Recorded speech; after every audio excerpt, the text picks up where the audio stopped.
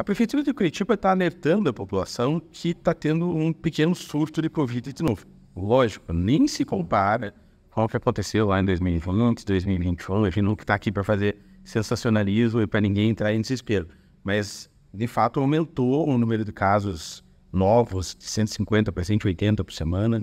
Tem mil casos ativos na cidade e, infelizmente, teve, numa só semana, quatro mortes por Covid.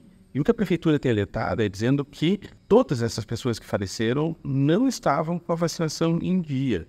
E aqui não é culpar ninguém, mas é lembrar da importância que tem a vacina para que você não venha ter problemas mais graves caso contraia o vírus. Então, essa semana é a semana do dia de imunização, mas além do dia D, os postos estão abertos todos os dias até mais tarde. Se você puder, por favor, vá, leve seus filhos, leve as outras pessoas porque a gente não pode brincar com isso. Todo mundo viu o que, que dá quando a gente tem uma, uma epidemia séria de um vírus como esse, então não dá para descuidar. Por favor, todo mundo indo aos postos para a gente não ter de novo que passar por uma coisa tão grave. Isso é mais importante de qualquer coisa na política hoje.